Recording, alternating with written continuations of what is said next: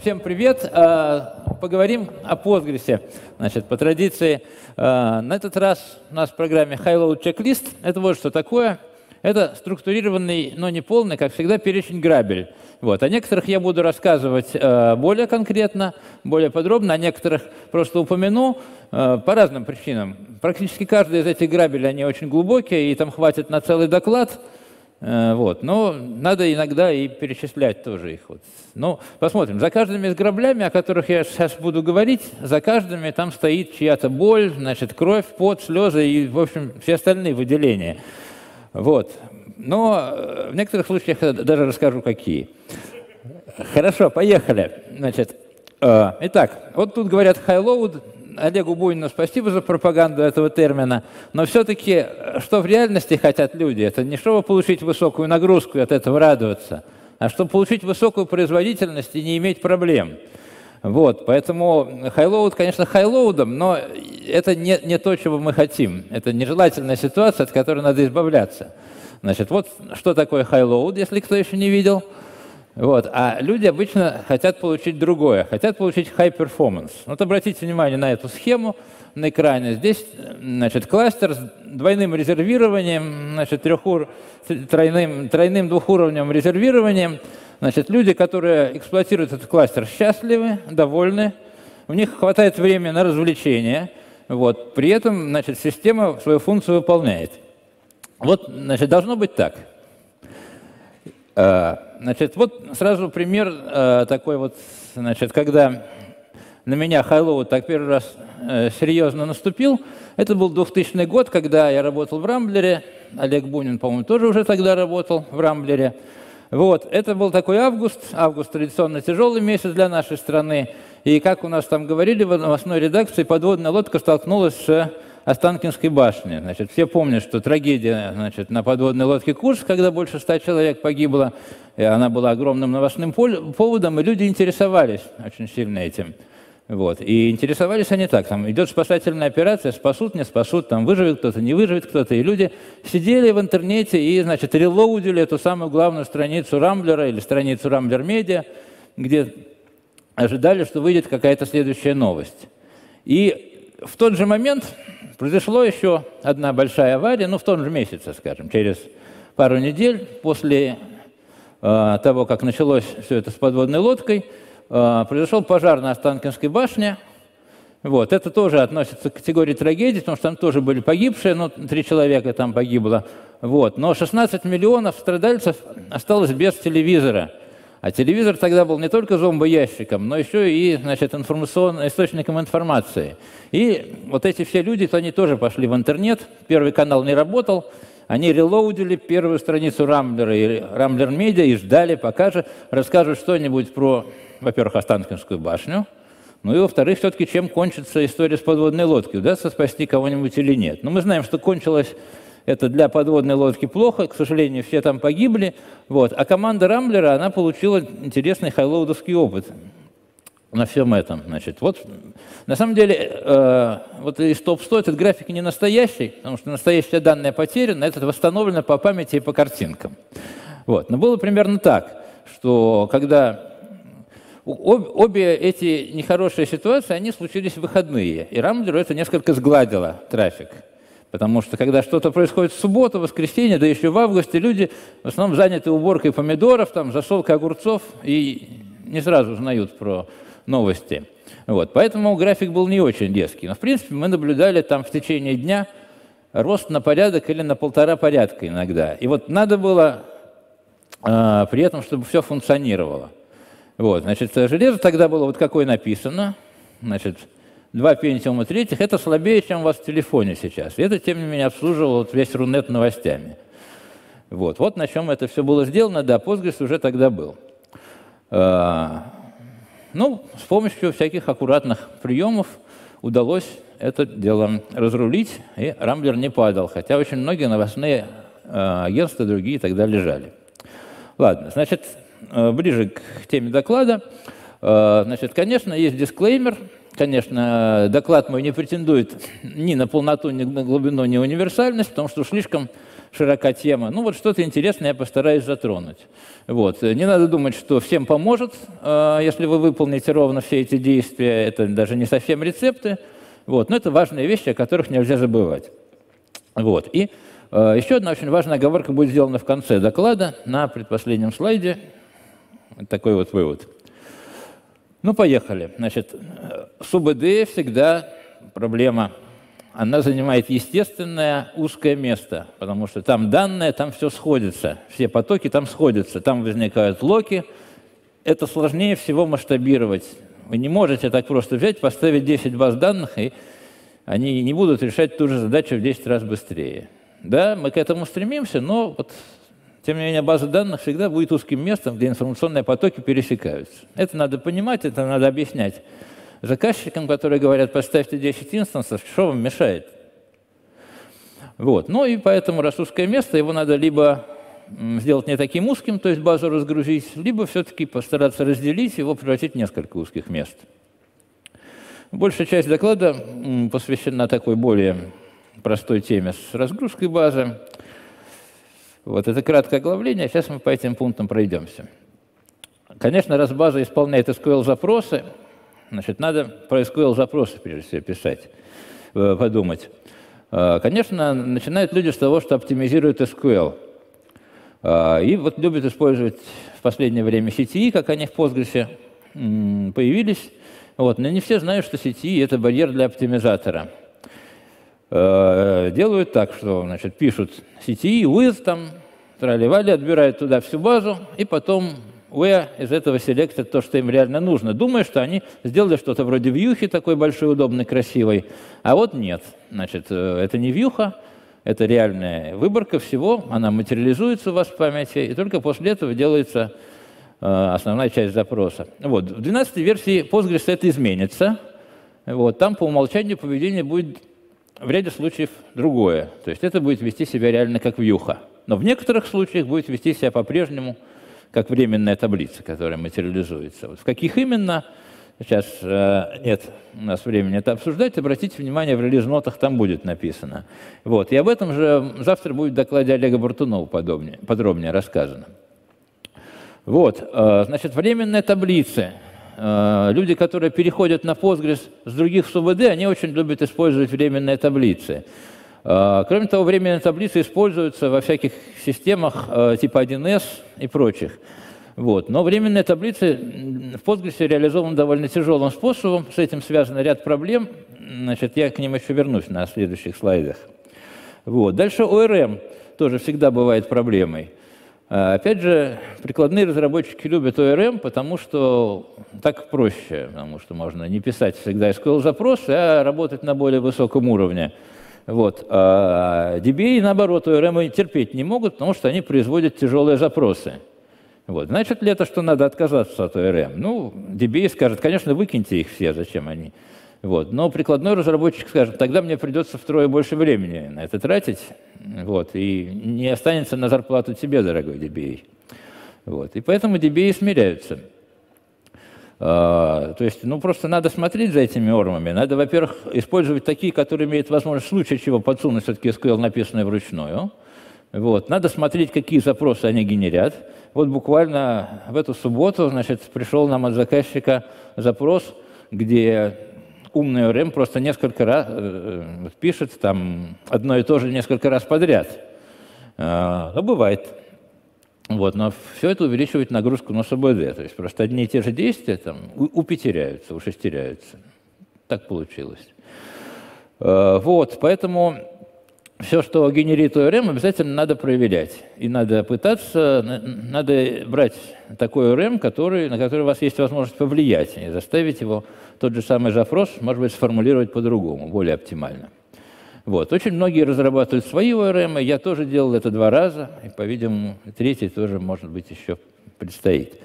Вот, э, значит, хранимые процедуры примерно такая же холиварная штука, некоторые их любят, некоторые нет, DBA обычно нет, а программисты, особенно кто переехал с Oracle, иногда строят на них огромные совершенно системы.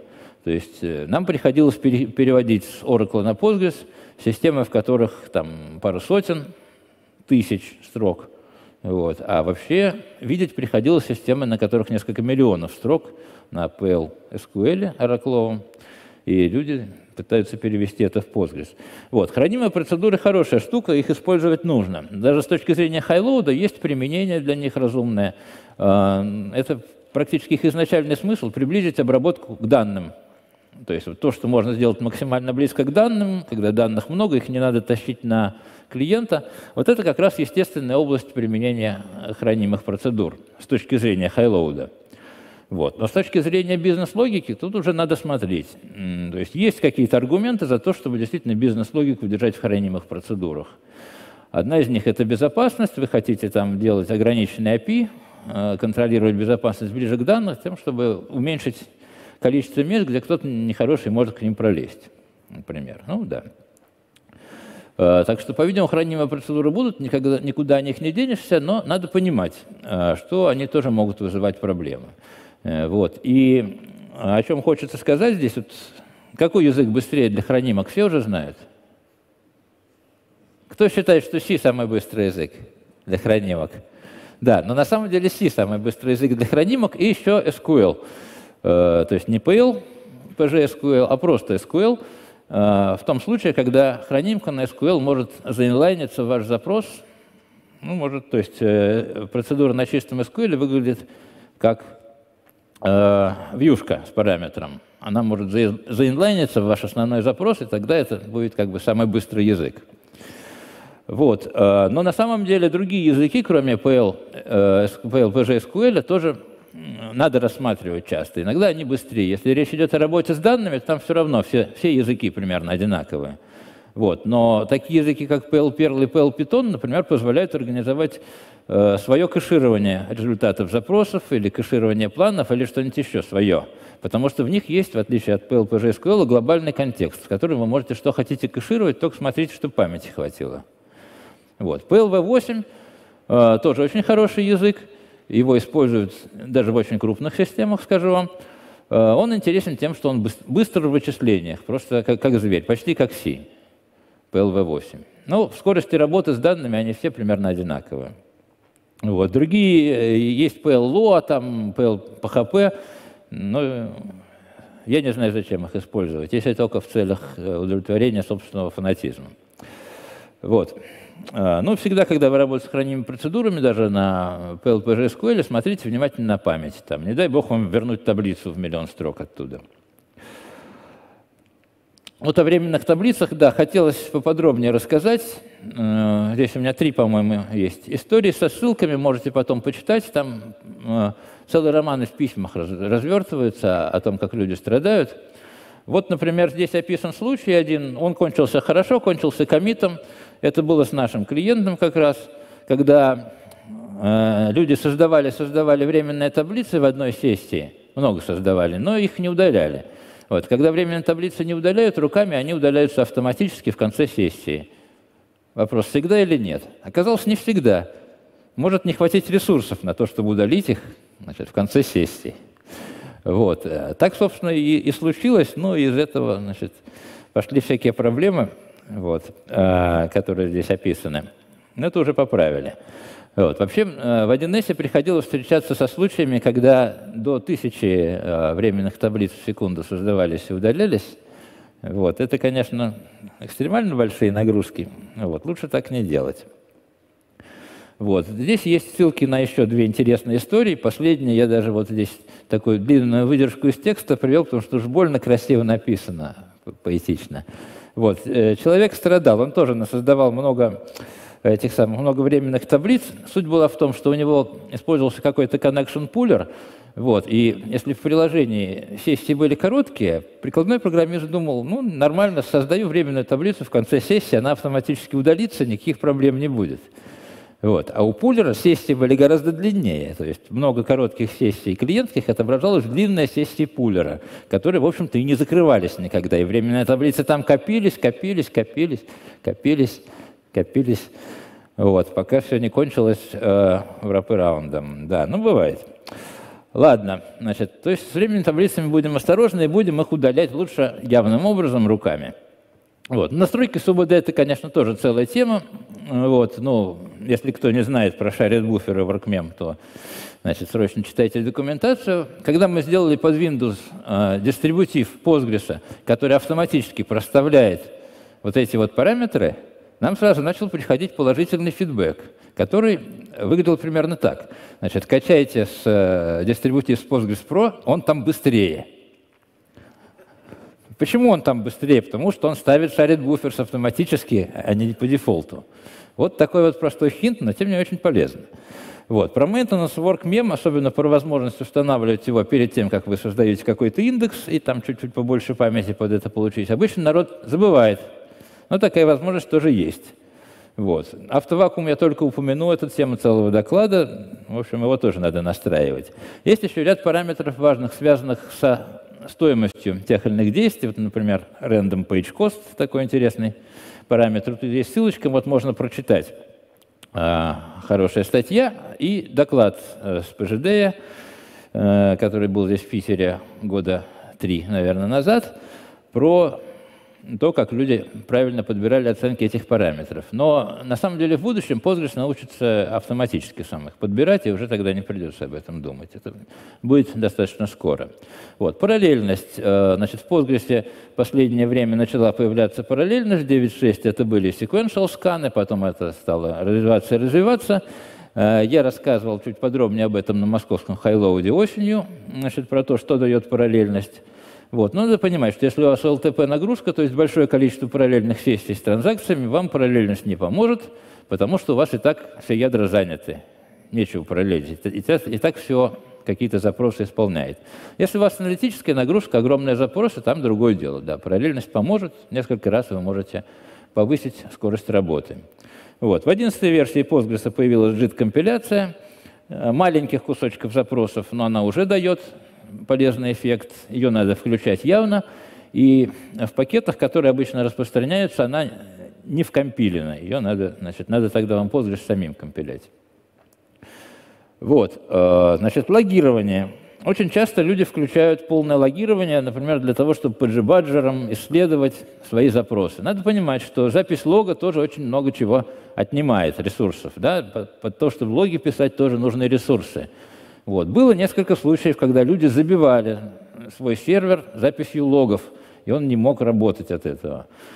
А, вот. Но в 12 версии появляется интересная штука сэмплинг, когда вы можете сказать, я хочу уже не все запросы логировать, а там 5%, 7% или там 50%.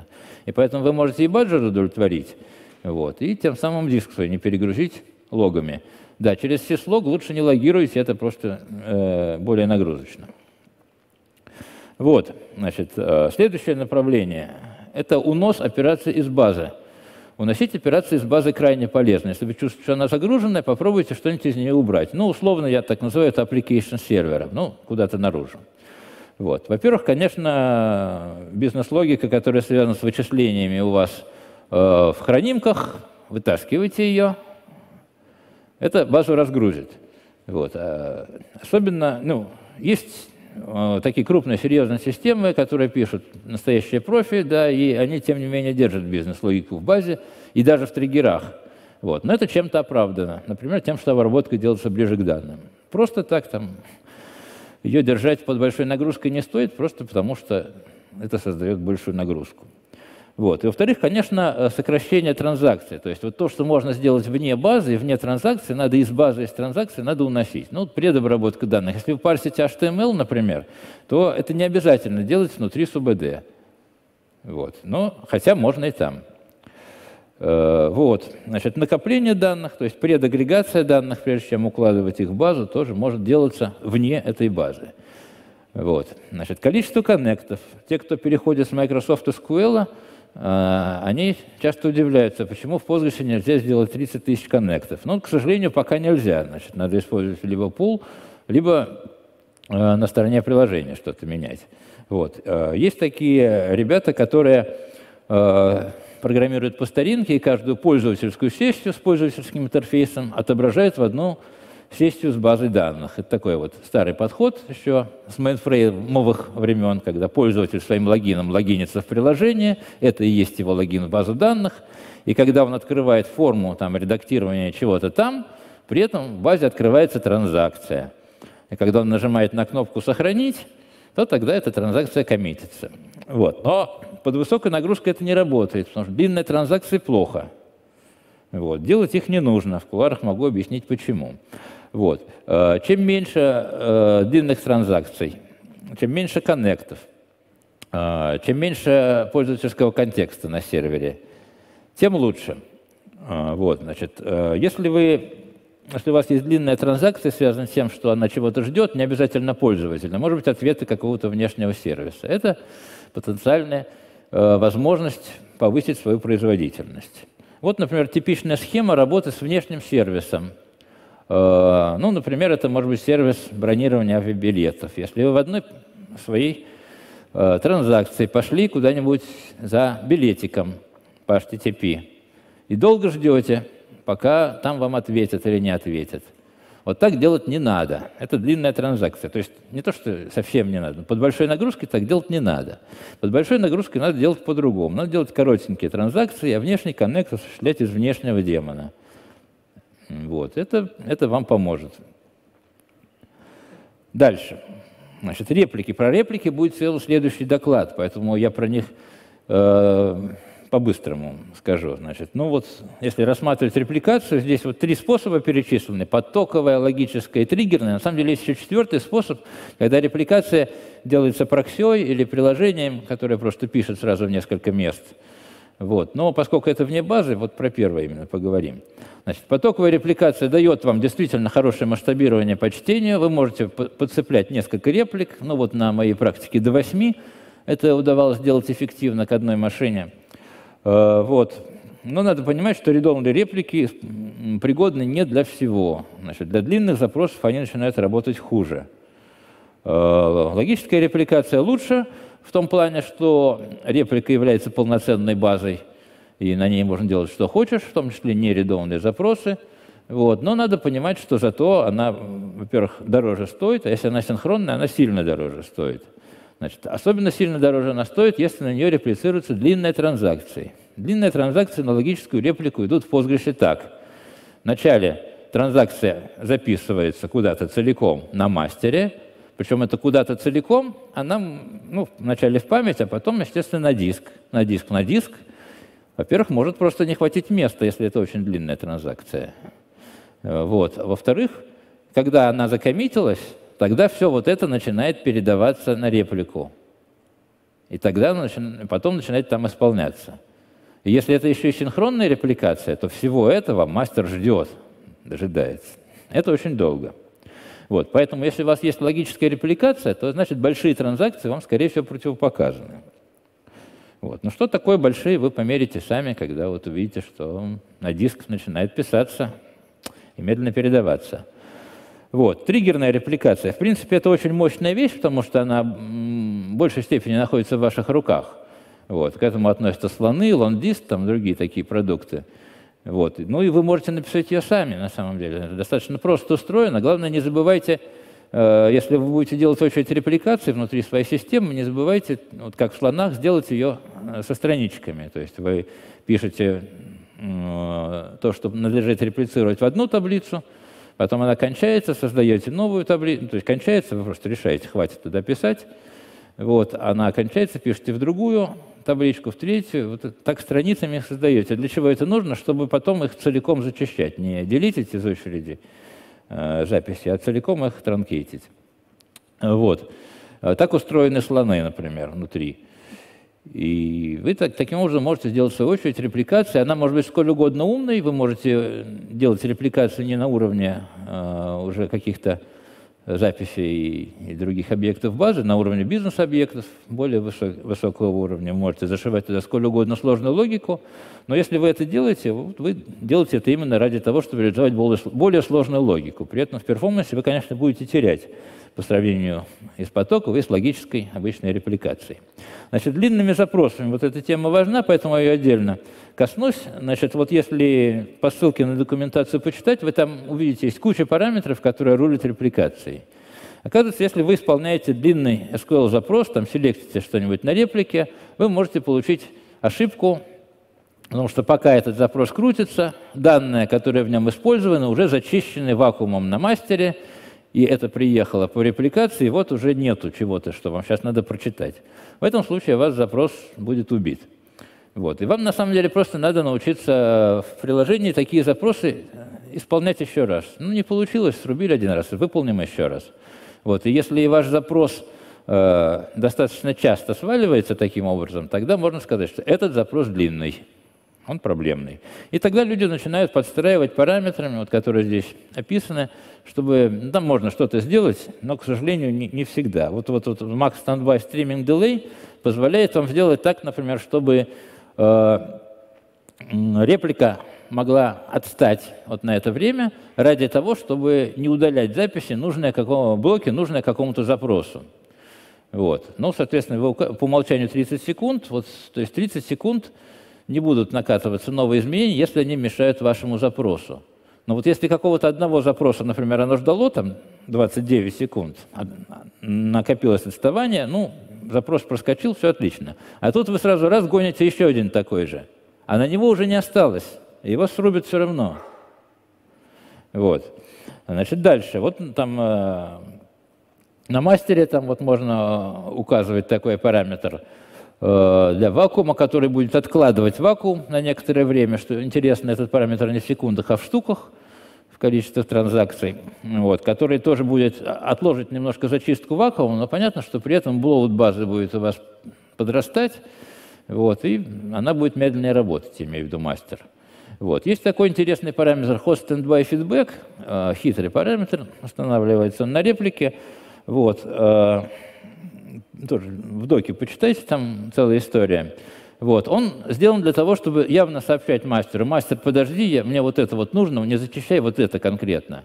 То есть не как в случае с э, дефером, когда вы просто говорите ему столько-то секунд, ничего значит, не счищай, дай время реплики. Он говорит, Э, я вот это, это, это я использую, не стирая это пока вакуум.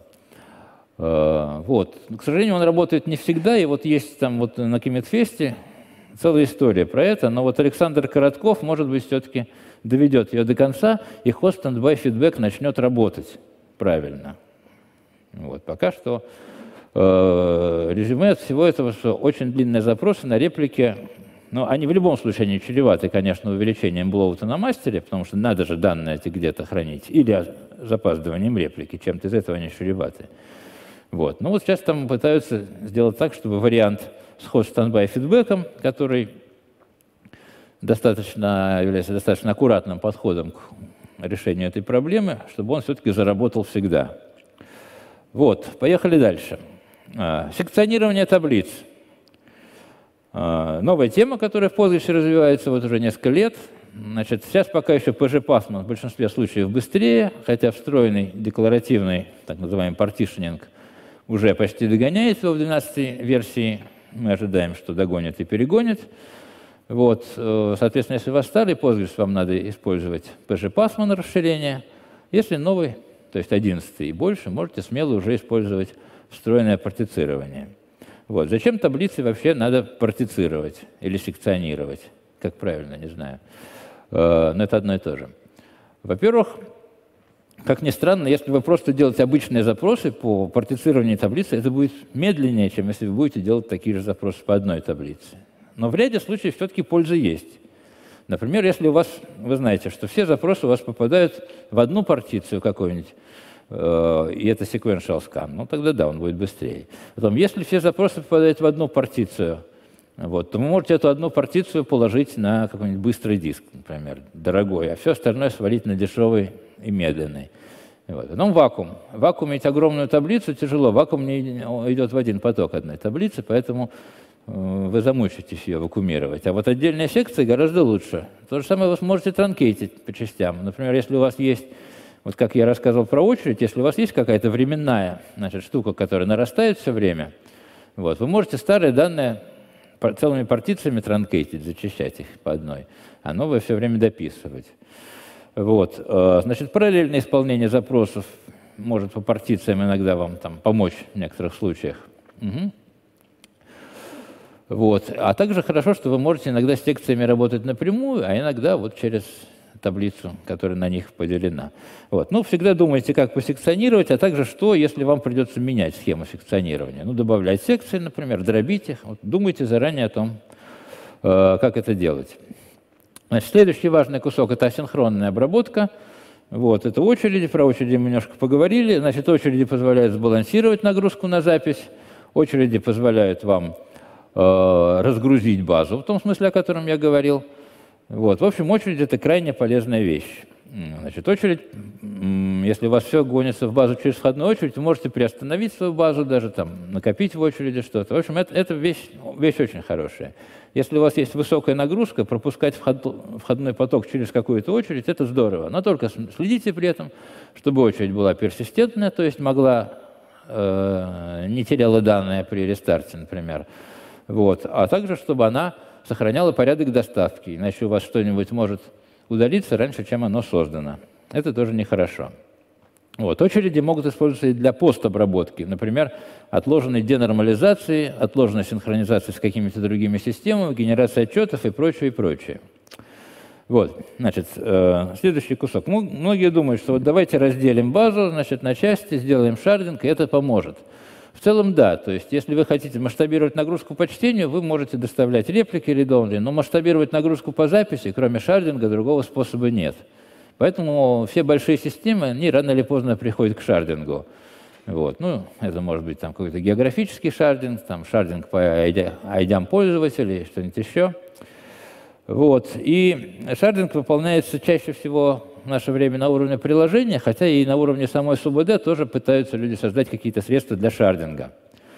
Вот. Ну и помимо э, шардинга могут быть какие-то архитектурные решения, когда вместо одной системы есть несколько, там, сложным образом взаимодействующие между собой. Ну вот шардинг уровня СУБД в Postgres начался с таких вещей, как Postgres XL и PG Shard. Это было где-то 4-5 лет назад. Ну вот PG Shard потом э, перестал развиваться, а компания Saitus, которая его сделала, сделала э, свою базу полукоммерческую Saitus DB, которая потом стала open source, потом Saitus купил Microsoft. В общем, их направление, судя по всему, завяло или завянет. Значит, GreenPlum весьма удачный форк Postgres, который годится только для аналитической, правда, нагрузки, но зато он очень хорош э, в том плане, что это единственное решение, которое позволяет работать сотнями и даже, говорят, тысячами шардов. Э, вот. Но рано или поздно эта функциональность появится и вне гринплана в Postgres, в частности, и мы над этим работаем. Значит, Postgres XL – хорошая штука. Она, правда, не везучая, потому что несколько раз у нее менялось название. Хозяева-разработчики, она переезжала в Китай, возвращалась из Китая. Вот. Она, в частности, сейчас стоит внутри биллинга, кажется, в Вичате. Китайский такой есть, самый большой в мире чат. Э, вот. Но она не позволяет так сильно масштабироваться, как GreenPlum, зато она как-то э, пригодна более-менее и для УЛАПа, и для LTP. Но у нее есть э, единая точка отказа, то есть отказоустойчивость она не совсем вам обеспечивает. Вот, э, значит, в нашей компании идет работа над расширением PG Shardman, но она пока экспериментальная, для прода еще не годится, но скоро сгодится. Э, значит, отличие в том, что оно делается максимально на встроенных в Postgres вещах, то есть на FDV, э, на параллелизации сканов. Значит, э, поэтому шарды, например, могут лежать и не в Postgres, а в каких-то других стоraджах. Вот. Но, тем не менее, там еще много всяких проблем нужно решить. Она уже сейчас умеет хорошо масштабироваться по записи, но чтение пока еще хромает. Но мы этот вопрос решим. Вот, значит, э, ну, шардинг уровня приложения пока что предпочтительнее, потому что приложение умнее, оно больше знает о данных, чем СУБД, вот, и вы там можете просто быть более гибким. Хотя, значит, мечта о том, что база данных сделает за нас все, она есть, и она, в общем, совершенно оправдана. Вот. Ну, э, целостно резервное копирование, кстати, ни в одном из имеющихся шардинговых решений для Postgres пока нет. Вот, надо понимать, что значит, вы можете бэкапить каждый шард по отдельности, а вот транзакционно значит, сделать снапшот такой со всего кластера пока никто не умеет. Вот. Над этим тоже, кстати, работа идет. На ПЖКонфе Федор Сигаев об этом рассказывал. Ну и другой вариант, э, который более, более глубокого архитектурного продумывания требует, это вот построение не одной системы, а целого комплекса, который асинхронно как-то между собой бы договаривался.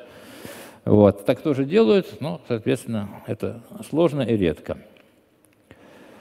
Вот. И подходя к концу доклада, я вот о чем хотел сказать, что обратите внимание, есть такая закономерность, что у нас есть э, реляционные СУБД, которые дают нам значит, транзакционность, ACID, значит, дает нам временные таблицы, ну, что там они нам еще дают, хранимые процедурки на всяких языках – вот они все дают, но чем дальше мы идем в производительность, тем меньше вот этим всем богатством, этой всей роскошью мы можем пользоваться. И в конце концов мы доходим до того, что мы просто пишем и читаем, пишем и читаем. Вот, а спрашивается, зачем тогда? Почему мы берем вот эту вот полноценную СУБД со всем этим стандартом SQL, там, CTE, многоуровнями и так далее? Вот, почему же мы тогда не используем вместо СУБД что-нибудь другое? Вот а, ответ такой, что в любом реальном приложении высоконагруженная часть, она, как правило, небольшая. То есть есть какая-то функциональная часть, большая с точки зрения функциональности, и высоконагруженная часть, узкое место, большое с точки зрения нагрузки. Вот. А, и причем заранее вы не всегда знаете, где это разделение пройдет. Поэтому вы начинаете проект с большой полноценной СУБД. Потом какие-то части начинаете оптимизировать и до достаточно высокого или глубокого уровня вам возможности СУБД хватит. Вот. Но да, вы не используете в высоконагруженной части временных таблиц, но в низконагруженной части сколько угодно. Никто этого не запрещает. Вот. Поэтому надо, не боясь высокой нагрузки, спокойно начинать с нормальных СУБД. Возможно, вам ее хватит. Вот. Э, хорошо. Значит, кликер у меня перестает работать. Наверное, у меня уже... А, вот, нет, все-таки работать немножко. Вот такая конференция будет в Москве. Значит, я, пользуясь случаем, всех туда приглашаю, в том числе с докладами. А мой доклад на этом завершен. Спасибо.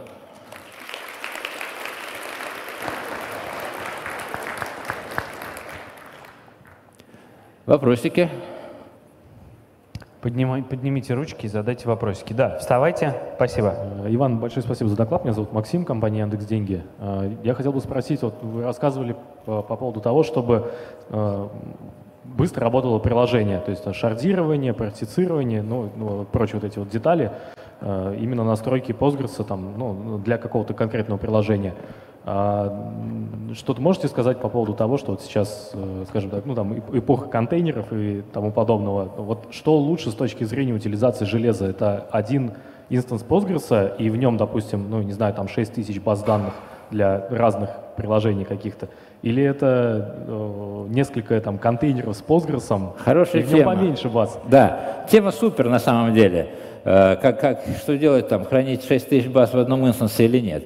Дело в том, что внутри одного инстанса у вас Postgres умеет перераспределять ресурсы кое-как. Значит, между инстансами ресурсы не переходят. То есть если Postgres взял какую-то шарит память, например, к инстансу, она к нему так и останется привязанной. Он сейчас не, на лету не может ее отдать. Это некоторое неудобство для всех э, облачных, ну или вообще многоинстансных вещей. Такое есть. Вот э, Федор Сигаев сейчас пишет патч, который позволит Postgres брать и отдавать шарит память. Вот, тогда, станет, э, тогда станет он более адаптированным к тому вот контейнер, миру контейнеров, как вы говорите, вот, ну и вообще к облакам. Э, вот. Ну, на самом деле, конечно, голое железо всегда лучше. Издержки на виртуализацию, на контейнеризацию, они есть, никто их не отменял. Значит, есть э, сложности такого уровня, что с какой скоростью, например, работает э, ваша операционная система с э, контроллерами железа, она может сильно отличаться в виртуальной и в реальной среде. И когда у вас там приложение много, много пишет, у вас это должны знать. Вот, то тогда важно, чтобы очень возможности контроллера железа очень хорошо были известны ядру. Иногда виртуальность прячет это. Вот, и вы можете упереться там в кратные какие-то различия в производительности. То есть лучше все-таки один инстанс и в нем побольше Ну, э, то есть, в принципе, с точки зрения производительности общей, там, это так, да. Хотя, наверное, в каких-то отдельных случаях можно дать и другой ответ. Спасибо. Добрый день, спасибо. Э, Вы упомянули э, какую-то будущую магию про подбор костов. Можно чуть поподробнее с А, какой-то про стороны? что, про что, пардон? Подбор параметров кост, Да. может быть, еще каких-то Ну, э, автоматических. смотрите, на самом деле сейчас вообще очень много идет работы по поводу того, чтобы Postgres мог э, сам настраиваться там в каких-то смыслах. Вот. Но Oracle, как известно, объявил, что они теперь автономная база данных, настраивать их не надо. Но вот это, это в головах у всех есть. Вот. В частности, подбор параметров, там какие-то элементы машинного обучения. Вот. Ну, то есть над этим разные люди в мире работают. У нас там э, в Postgres Pro тоже работают. Вот. То есть какие-то оценки такого рода, они будут корректироваться по ходу. Вот, она работает, при этом и соображает, что надо чуть-чуть изменить оценки. То есть это не на уровне инсталлятора даже, а в процессе Нет, нет, работы нет, процессе, кластера? конечно. Ну, на уровне инсталлятора это самое простое, конечно, но, но это неинтересно. Но этого нет. Это все равно, а, а, понимаете, это все равно откуда-то должно определиться. Да, если человек сам не знает, инсталлятор должен быть очень умным. Или он должен быть очень медленным, он должен померить. Но вот таких инсталляторов, которые мерили бы производительность так всерьез, ну, что-то я таких не видел. А вот по ходу дела там чуть-чуть корректировать, это нормально. Спасибо. Сейчас Микрофончик сюда. Микрофон по первому ряду. Отлично. Алло. Здравствуйте, спасибо за доклад. Можете, пожалуйста, по поводу секционирования, вот выбор ключей, вы говорили, вот грамотный выбор ключей вот он нужен. Можете вот э, поделиться, пожалуйста, вашим best practice, то есть секционировать по ключам, по датам или еще какие-то варианты? Ах, Ну, понимаете, это от приложения зависит. То есть, если у вас э, действительно есть четко выделяемый какой-то э, кусок данных, который называется новые оперативные данные, в этом случае вы секционируете по, дан- по датам. Если, особенно если вам надо зачищать старые. То есть, если у вас какая-то существенная часть работы идет с последними данными, тогда да. Э, Но на самом деле часто бывает, что нет. Потому что когда системы развиваются, оказывается так, что архивных данных столько же, сколько новых. И потом, то есть это у вас не- неровные такие сегменты.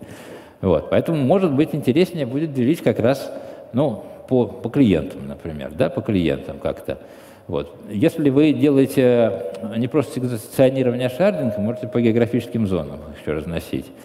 Вот. Но это не то, что здесь можно дать рецепт или без практики. Без практики занимается, сделайте модель и померите.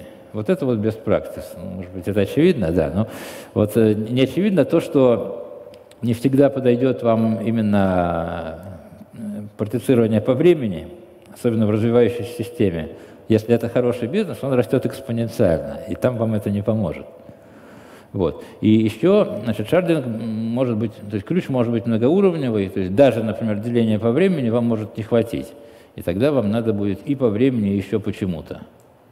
Понял. Спасибо. Иван, спасибо большое за доклад. Как всегда, очень интересно, появляются новые мысли.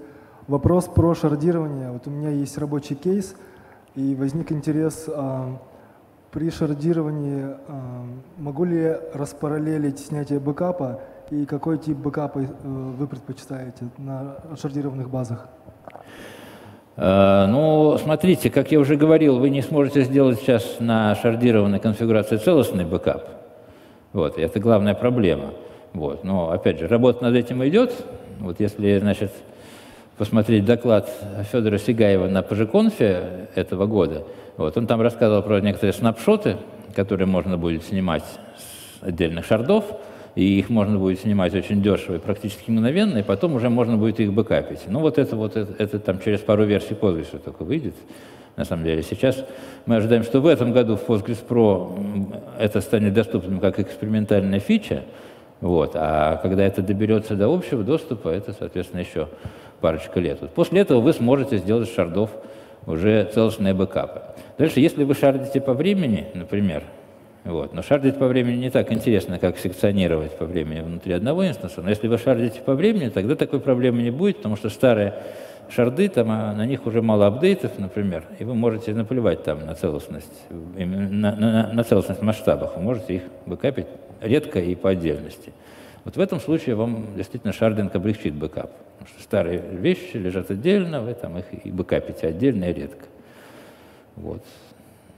Ну, это то, что приходит в голову. Спасибо. Спасибо за доклад. Меня зовут Кирилл. Вопрос по поводу временных таблиц в контексте SQL сервера. Стоп. Где вы, Кирилл? А, вот, вижу вас, Вот, да. смотрите, да. Да. Повторить? Тут просто лампа светит в глаза, я не сразу вас увидел. Ну, да. слышно же, да? В Да, контек- слышно. Вопрос про временные таблицы, но в контексте SQL Server. Вот вы упоминаете, что их нужно как бы снижать их использование. Если все-таки есть фактовые таблицы, там, скажем, три или четыре, и не связанные данные, но в отчетах они э, через временные таблицы как бы джойнятся. Э, правильно я понимаю, что надо переносить тогда на application layer э, э, эти джойны? Или какие еще альтернативы? Ну, Ну, смотрите, я же не говорю, что вообще не надо использовать временные таблицы. Может быть, для чего-то и надо использовать. Просто в Postgres они реализованы более тяжелым способом, более ресурсоемким, чем в Microsoft SQL. Вот, поэтому в них можно упереться раньше и быстрее. Вот. Что-то вот, появилось, в Postgres есть такая вещь, как JSON, там всякие сложные агрегаты, CTE. Благодаря этому вы можете то, что раньше вы делали с помощью временных таблиц, сделать с помощью вот этого всего. Это будет работать быстрее, эффективнее. Вот надо пробовать. То есть э, с помощью рекурсивных CTE можно делать вообще что угодно. Э, плюс JSON-овские агрегаты, и, пожалуйста, вы получите многоуровневые отчеты там, с разноур- ра- разнотипными какими-то данными. Может быть, вот это поможет. А, Здравствуйте, спасибо большое за доклад. У меня вопрос такой. А, насколько я слышал, есть возможность подселить одну таблицу а, с, с какой-то базы данных, ну, допустим, с э, другой базы данных на, на отдельные базы данных. А, Use case такой. А, Есть приложение, точнее не одно, а несколько, и есть э, одно приложение, которое работает на запись для, допустим, таблицы пользователей, и мы хотим э, эту таблицу расселить на остальные э, базы данных, которые привязаны к другим приложениям, как read-only, Как что? для- только для чтения. Еще раз. Вот есть э, приложение, которое пишет в базу данных пользователей. Мы хотим эту таблицу не синхронизировать данные а, ну, каким-то там на уровне application, а мы хотим на уровне базы данных, на уровне Postgres просто э, дать другим базам данных доступ к этой таблице read-only, только для чтения. Каким образом это лучше сделать? Но, Чтобы не дублицировать данные. И это какая-то лайф-реплика должна быть. Ну, или- смотрите, нет, но вы можете там а, из других баз данных подцепить через FDV эту таблицу, она будет видна у вас везде. Это Foreign Data Wrapper – нормальная, хорошо работающая вещь. Даже если это будут отдельные инстансы на разных физических машинах, Да, конечно. ну, тогда мы можем уткнуться в э, Net Connection, правильно? Можете, да. Можете. Но туда же эти данные read-only нужны, да? Да, но опять же, хорошо, а как мы будем работать с выборкой, как там с ключами, с индексами все это обстоит дела? Ну, Все нормально? разница. Через FDV вы имеете SQL интерфейс, вы все то же самое можете сделать. А если вам не хватает коннектов, ну, куда-нибудь э, отложите на реплики, read-only, будете иметь доступ к ней. С этим Понял, проблем не спасибо. должно быть. Э, С этой минуты мы можем ответить на платные вопросы. Вот, пожалуйста, 500 рублей, будь любезна. Ладно, ладно, за счет хайлоуда, да.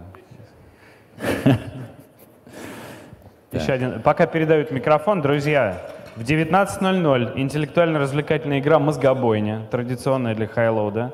Записаться на нее можно слева при выходе из э, этого зала. Окей, Спасибо за доклад, Сергей Киопшин. Э, У меня каверзный вопрос. Э, Говорите, есть JIT, JIT ускоряет, но почему он по дефолту выключен? Что с ним пошло не так? Э, Я точно не знаю, почему по дефолту его не включают, может быть, боятся, но просто для джита нужен, э, не каждый компилятор подойдет, и потом JIT не на всех платформах там есть. Вот. э, Если вы хотите JIT, вам надо собирать это Clang ом, а не GCC. Вот. Возьмите и соберите, ничего сложного, он работает. А, окей, если мы его соберем, дает ли это буст? Вы можете привести примеры, где это вообще поможет, а где это не поможет? Ну, смотрите, э, сейчас он помогает, если у вас есть арифметические выражения внутри select а. То есть, если вы, например, пишете select, там x плюс y умножить на z, вот такое выражение, вот оно заджитится. Вот. Ну или где-нибудь еще там v тоже такое выражение есть, оно заджитится. Вот. Сам по себе план исполнения запроса нет, на него это пока не распространяется. То есть были э, всякие исследования на эту тему, несколько групп этим занималось, в том числе в Институте системного программирования РАН были ребята, которые это делали, они докладывали об этом года три, наверное, назад на Европейской конференции по Postgres. Вот, их решение было, в принципе, очень хорошим, но грант на следующий год они не получили, кто-то им там не дал, не знаю. И, э, по-моему, они забросили это дело. Я рад буду ошибаться, но от них что-то больше ничего не слышно. Или они там, получат грант и продолжат. Но, не знаю, тема джита, она, в принципе, очень глубокая. То есть хорошо бы, чтобы весь э, SQL-запрос можно было во что-то скомпилировать там на лету или как. Вот. Но пока это только на очень небольшую часть распространяется, соответственно, не всем поможет. Окей, понятно, спасибо. И последний на сегодня а это продолжение, уточнение. Можете перечислить, какие части компилируются? Ну вот вы сказали, да, да, да. арифметические вот... операции, наверное, еще битовые маски туда же входят. Что, ну, что вообще умеет насчет, насчет битовых масок не знаю, арифметические операции знаю. Вот. Те вычисления, которые у вас там идут, вот, все эти выражения, все они джитятся. Ну, поскольку коротко, то вот на последнем ряду давайте еще возьмем. Да, и на мозгобойню записывайтесь, друзья. Не, не просто так день должен закончиться. Спасибо за доклад. А, спасибо, что увидели меня. вот, а, у меня вопрос, ну, у меня одно уточнение по поводу оверхеда, докера и ну, контейнеризации, виртуализации. То есть для больших, а, наверное, объемов это имеет значение, но для стандартных кейсов там оверхед буквально 2-3%, и я не думаю, что это имеет какое-то значение. Это имеет значение действительно при больших нагрузках. Да, только, чтобы не пугать да. просто людей, у которых там... Не-не, виртуализация хорошая штука, конечно, я же... Вот. Как можно быть против виртуализации в наш, э, как там говорилось, контейнерный век? Да, просто... Нет, да. но на больших нагрузках, да, упираются люди в это иногда. Вот. И по поводу партицирования, а, я, может быть, упустил, вы про timescale тебе ничего не говорили, правильно? Да, вот, а, это такое расширение, которое работает, ну, как экстеншн на 9, 10, 11, там, ну, 12 будет работать. Оно умеет его внешние ключи, оно интегрируется в планировщик запросов, и оно значительно лучше встроенного, и при этом оно ну, ориентировано, само собой, на время, то есть у него первичным ключом должно быть время, но это не обязательно, можно любое монотонно возрастающее. Да, TimeScale DB интересная штука, она сделана на базе Passman, о которой я говорил. Вот. Полезная вещь, да. Вот, ну, рекомендовал бы посмотреть. А у нее куча всего автоматизированного, и руками не нужно. Там есть ретеншн удаление устаревших чанков автоматическое, и там есть возможность менять объемы чанков. То есть следующий чанк будет, например, там две недели, а когда вы экспоненциально растете, вы можете чанки просто одной командой говорить, что теперь ты один день, теперь там три часа. И все это параллелится на разные чанки, если мы режем в разные временные отрезки, например. Да, вот. все так и есть, хорошая вещь. Все, спасибо. Спасибо за рекламную паузу, отлично. А, Иван, кому мы э, сделаем подарок за хороший вопрос? Фух, их столько было много этих вопросов. Всего один. Каких? Хороший. Хороший? Да, да, да. Да нет, хороших было много вопросов. Э, я думаю, что про, э, за вопрос про JIT компиляцию мы дадим приз. А вы здесь, да, еще? Вот, прекрасно, да. да. Сейчас к вам, э, ну, так что, видите, 500 рублей обнулились, как бы все нормально. Иван, спасибо. Э, благодарность от э, оргкомитета ага. и аплодисменты от слушателей. Спасибо.